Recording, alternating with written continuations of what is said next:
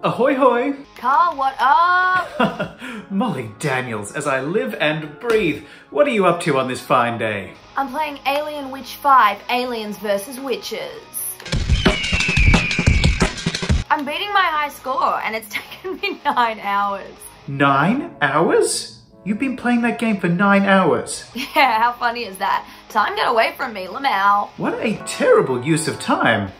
You could have been doing so many other important things with those nine hours. What a waste. Excuse him, what? I mean, you could have been reading a book. You've been reading a book. For the last nine hours, yes. Just a spot of the old literature. Not such a chore. Hmm. Minty. Okay, well, we both used our time to do things that we find fun. Cool. Good for us. Yes! They're not the same. Reading a book is educational. You use your imagination, expand your vocabulary, enter new worlds. You can do a lot of that stuff in video games too. Carl, are you crying out of passion? No, you are. This video game is making me use my brain too. It's all about reflexes, problem solving, hand-eye coordination. Yeah, I'm sure it is. Carl, what about this? When books started being published widely, like 500 years ago, people were worried they would rot kids' brains. What?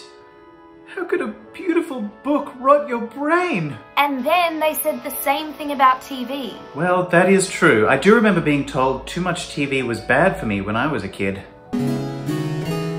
Hey, I am not 500 years old. And now they're saying video games will rot our brains.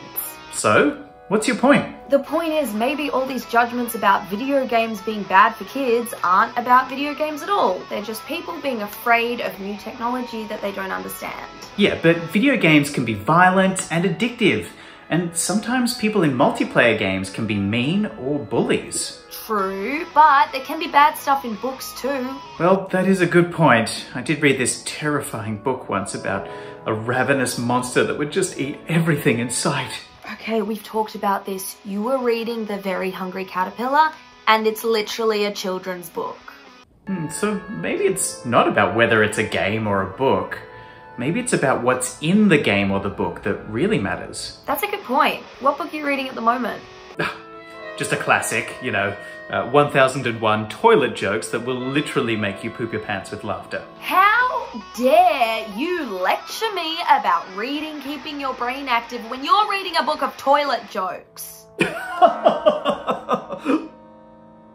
uh, sorry, Molly, I believe I need to go and change. Uh, I'll talk to you later. I'm never calling you again. Short and curly.